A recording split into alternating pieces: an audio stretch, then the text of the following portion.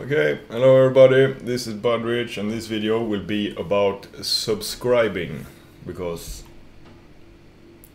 soon, soon there are 2k, 2k, Budlabs 2k, you know, whatever. But it will not be about YouTube subscriptions, it will be about subscribing to i3 events with a built-in uh, i3 message subscribe method or, or function here. Uh, which is a fairly new addition to, to i3. I think they added it in, in um, version 4.16 and we are at 4.16.1 now or something. Let's go to the uh, i3wm.org. This is the official uh, uh, homepage for i3, you know. Yeah, latest version 4.16. For 0.1. 0.16 was the version where they introduced uh, uh, this this thing. So it's it's only been around for, for, for less than a year, but it's not brand new, you know. If we go to docs here, inter-process communications, IPC, blah blah blah. Here you can read more about how this works. And I don't know, th this page make it look more complicated than it have to be in, in one way, but I, I think the i3 documentation is so good. It's if, if you compare it to other uh, window managers documentations, it's it's uh, it's very good. Whatever. Uh, this is how this works. You can you can subscribe to different events, and those events are listed here. Uh, workspace event, output, mode, window, bar config, binding, shutdown, and tick. And uh, the one we will focus on today is binding because uh, we will try to, to create uh, my little notification thing here. You see this when I fire up a, a i3 key binding, uh, you can see the notification there is changing. So we are going to try to make uh, uh, make this one from scratch, and I, I, I do this by using this subscribe method. And um, the reason to use this subscribe method is is um, instead of using normal IPC libraries, because uh, I think they are listed here as well. Here, uh, you know, there are a bunch of, of uh, I, i3 IPC li libraries here uh, for C, C++, Go, JavaScript, Lua, Perl, Python. This is the one that I have been using the most. And I, I, uh, I think this this one is really good. You can say what you want about Python, but this is a good uh, IPC library. And, and you know, all languages have their place, and I think Python is excellent for, for these kinds of things. Uh, but there are for Rust, and, and even OCaml has its library, which is really cool.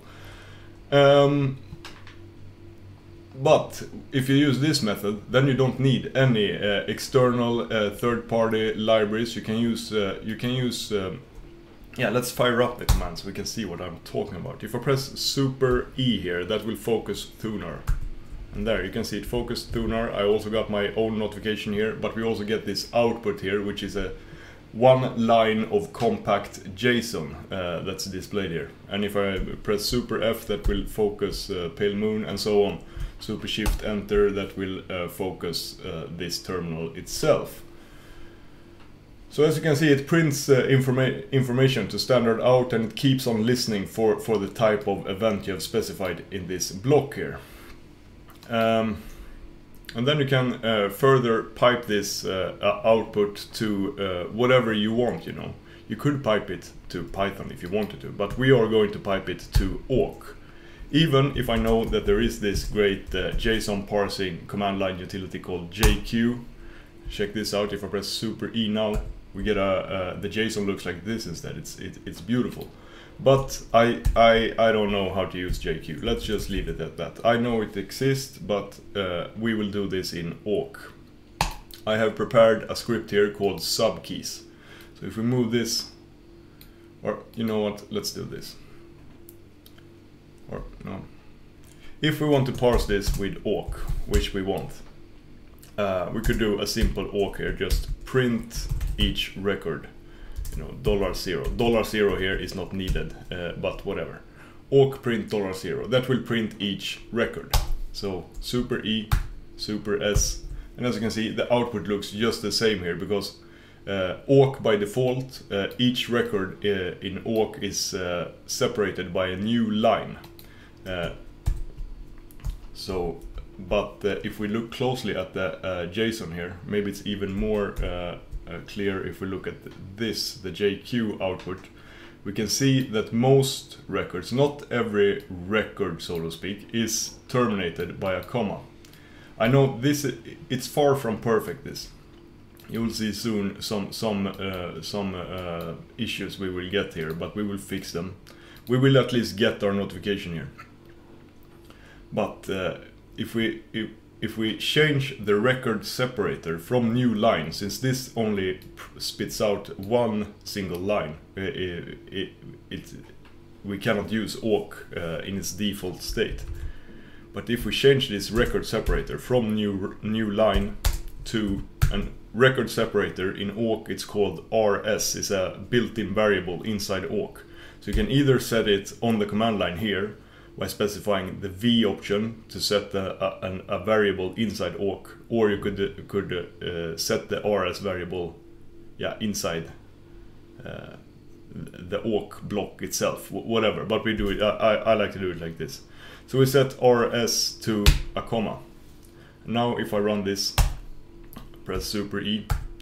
Now we can see it, uh, uh, the records are separated like this. Um, and awk also have, you know, um, it prints uh, dollar zero. That's the whole record. Normally the whole line. In this case, yeah, you know. But then you also have dollar one, dollar two, dollar three, etc. Uh, in in um, awk by default, uh, those and those represent fields, you know. And normally awk, uh, uh, awk's field separator, which is different from the record separator, the field separator is white space. Um, but we cannot use white space either because rem remember this is this is like a minified JSON, meaning all unnecessary white space is removed. So many uh, lines might not contain any white space whatsoever. Like here, we cannot do dollar $1. Dollar $1 will be this if we do it in Walker. We could even test it. Uh, and then super E. And now you can see uh, it, the output looks almost the same. Except for the command here, because the command contains a string and that string contains, contains spaces. So we need to change the field separator as well. Uh, or need to, but we will.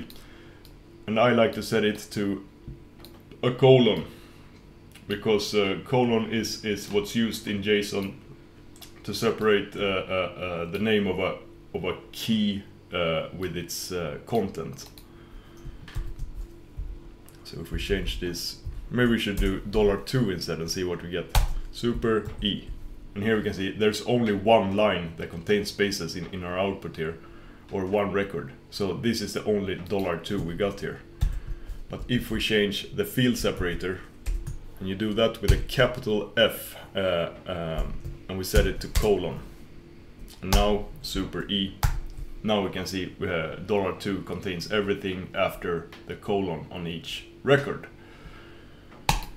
there that's uh, what we that's our starting point here so I will copy this uh, paste it into this uh, uh, um, file here or script I have created called subkeys. So now I can execute subkeys and it should do the same thing. Super E and it prints dollar $2 of each uh, uh, record there. Good. Another thing I will do now is, is kill this uh, um, notification thing. I have a key binding for that as well. We can see it here. Why? Yeah, whatever. Okay, let's start. Um, inside of this block we will write all we need here and everything in awk. We will even execute the dunst notification from within awk. We'll see how far we get in this first video. Um, let's print all all lines or all records again here so, so we can see what it is we need to catch. Super E. Um, and also the notifications now I close them maybe that was stupid but uh, whatever uh, the format I would like uh, is uh, I want the notification to, to look something like super E here, for example, that executed uh, Thunar here. Um, I want the notification to say super E and then uh, command. And the command, we can see the command here. Like this, but we want to trim this a bit. I, I, I don't want this i3 specific things. Uh, and we can also see here uh, super E. It doesn't say super anywhere, but it says mod 4. So mod 4 means uh, means uh, the super key. This is uh, a list of modifiers. If I have more modifiers, let's say super control shift E, we get this output here. And now you can see uh, one of the issues we get when we are using comma as the record separator. Because here, control, shift and mod, all of those belongs to the same uh, uh, list here uh, in, inside this uh, square brackets. But uh, you separate the elements of a list in JSON with also with a comma. So, so this is something we need to, to, to keep in mind. But I would like to change change this a bit, uh, get this, and then we also finally have the symbol here, which is uh, the the actual key. So so you can separate uh, a key binding into two parts. You have the symbol and you have the modifiers. And modifiers, I think it's easy to understand. It's Shift, Control, Alt, uh, and so on. Uh, and then you have this symbol. And this uh, with, with, with, this information we can draw the conclusion that uh, what we really need here is these three uh, uh, records. The symbol, the command, and the list of modifiers. We could paste it. The rest of, of, of the uh, key binding output here is uh, are things we, we don't really need uh, in, in this in the thing we are doing here. And remember, field separator is colon. So this is dollar one. It will look like this. Um, so we could start by trying to uh, creating uh, some variables inside awk here that contains the symbol, the command, and the modifier list. So we do a test here if um, dollar one uh, is uh, symbol. And here I write it like this, uh, like a regular expression. And this uh, this means it must be an exact match. And I like to write it like this uh, because then you can use uh, double quotes like normally inside the regular expression here. You, th this could also be written like this. It's the exact same thing. If dollar one is exactly, mm, let's see, there, there, symbol, escape, double quote, double quote. These two are uh, mean the same thing, exactly the same thing. But as you can see, this is kind of inconvenient, annoying way to write it. This looks much cleaner and easier to maintain. But if dollar $1 is a symbol, then we store dollar $2 in a variable, we can call it ksym for now, is equal to dollar $2. Then we do the same for command and mods here. So command mods and we can say this is kcmd and this is k mod. Okay. Um, uh, and then we could also try to, to create one of these uh, uh, like a fake uh, output here with, with how we want it to look like and we want something like print uh, mod and then a plus and uh, ksym and below that we want the line uh, kcmd um, but here now we will we cannot just add this uh, directly here. First off we need to put it inside an action block like this uh, because print needs to be inside an action block in awk. Um, but if we execute this, sub keys now, we'll get a really weird output, I guess. Uh, super E. Yeah, we get this. Blah, blah, blah, blah. The last one here, that is actually uh, uh, correct. That That is what I, what I want here. But as you can see, it, it does this. It prints prints these things on every record because that's what this action block it this action block uh, is executed and yeah awk you know it works like that. It, it, it, it does everything on each record. So it tests here if dollar one is uh, uh, symbol. It tests that on each record here. And if that is true it sets the variable. Uh, but this action block it doesn't have any any uh, pattern uh, before it. So it, so it it will always execute this. There is this special uh, awk thing that you can write end, and that means it will execute this at the end of, of um, when all input is, is uh, processed, then it will execute the end block in awk. But the thing is, the input here, it will it, it will just continue. It, it doesn't stop until we uh, kill this process, the i3 message subscribe process. Then the end block would get executed. So this doesn't work either. If we, if we try this, we will not get any output at all here. Super E, we get nothing. Super S, nothing. So what we need to do is uh, to add this to, to like the end. Uh, let's do this and then just add a print here that will print every record. Super S. And the thing with this JSON is that it, it will always be in the same order here. Uh, symbol will always come before command and command will co come before mods and mods will be the last. So we could uh, could do this. Uh, since mod will be the last, when we know the modifiers, then we know all we need to know about uh, uh yeah, all we need to know. That's all we need to know, you know. Uh, so we could add it here to this block if we wanted to. And then we will get something similar to what we are looking for.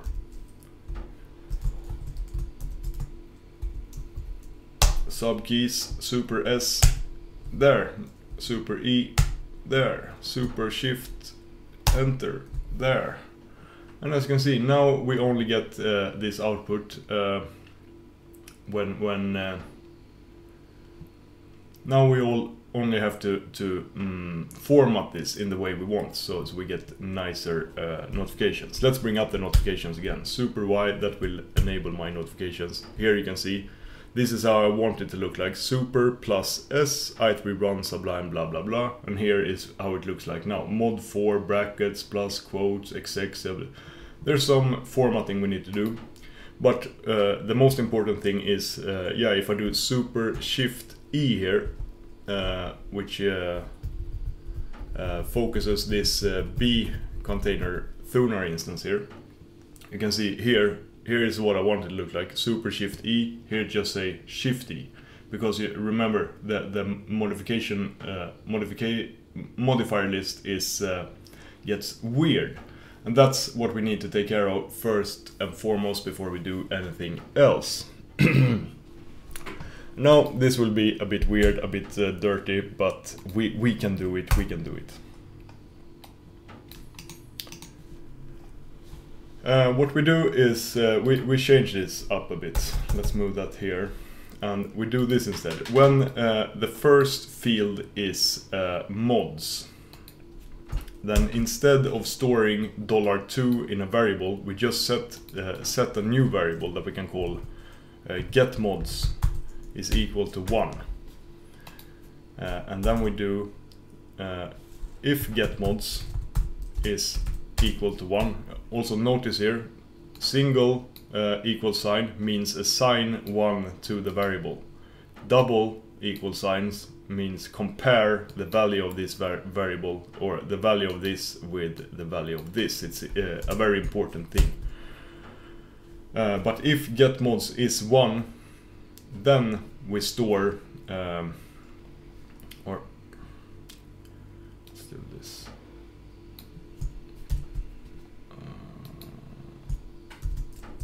to show you.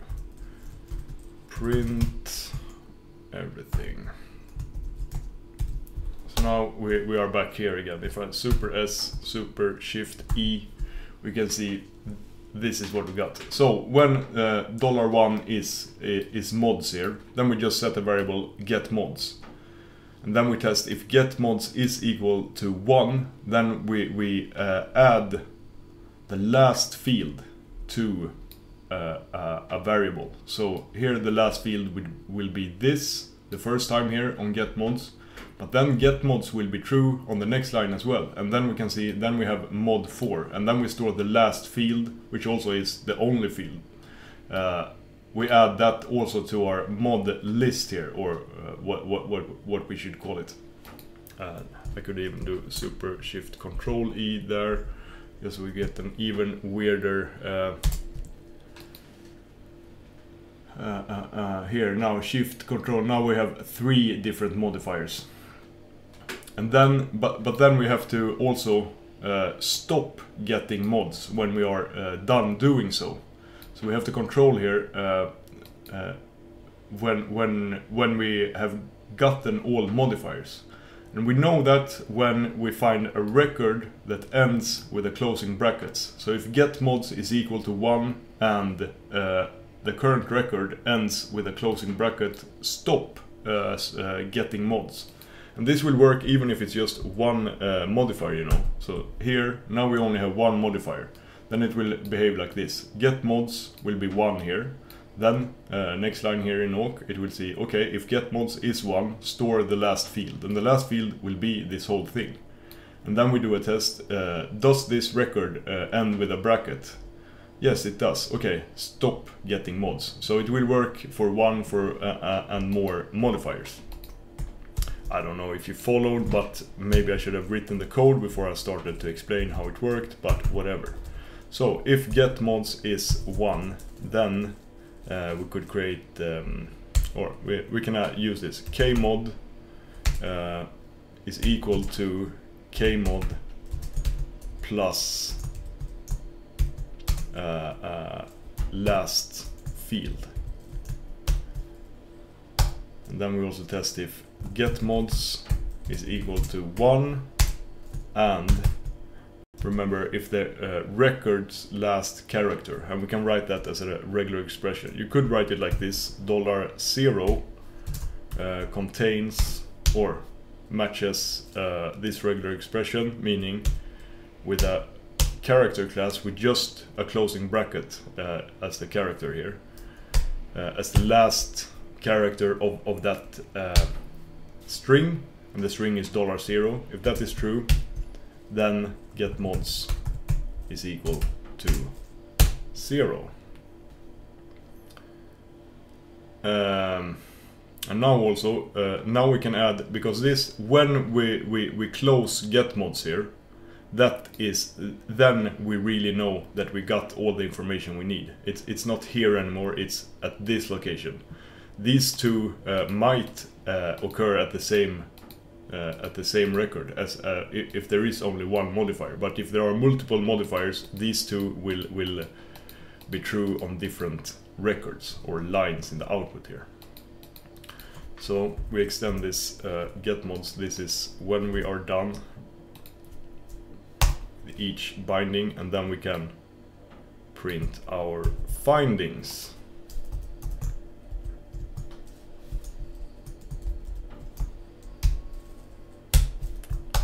Let's see.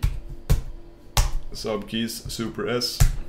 There, now it says plus mod 4 plus S. Super shift S or super shift E. Now it says mod 4 plus shift plus mod 4 plus E. Okay, super uh, E. Now it says mod 4 shift mod 4 mod 4 plus. Uh, and as you can see, something is wrong. It, it just keeps on building up on this kmod uh, variable. And that is because that's exactly what we're doing here. We need to clear the kmod variable here uh, uh, when we are done with each uh, each key binding. So we can just set it to an empty string like this. And now, now it, it should work. Super S, super shift E, super E, super S, super shift uh, return. And now uh, uh, um, we have this output. Now we are kind of close, but uh, again, let's take a look at my notification comparing them here. Now, this is how it looks like uh, in our output, and this is how it looks like here. The difference here is that super shift return, it says here, but here it says shift mod 4 return. There are two differences here. One is that mod 4 is called super. Another is that shift uh, has a capital S. So I would like to rename some of these modifiers and also uh, in, in, in um, the notification you can see that super is listed before shift. Uh, and uh, also super yeah yeah let's just do super control shift. I know this uh, key binding or super control shift E. The command doesn't really work here but it, it doesn't matter. Now, now it listed like this super control shift E but here here we have Here it didn't list anything. Why didn't you super control shift E? That's weird.